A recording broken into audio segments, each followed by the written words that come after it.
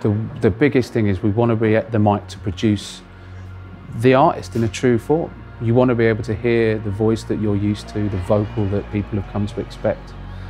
And we were all like immediately, yeah, the vocal is just more upfront somehow. It's it, it cuts through more.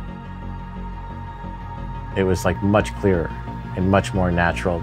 It's just it's, it's perfect.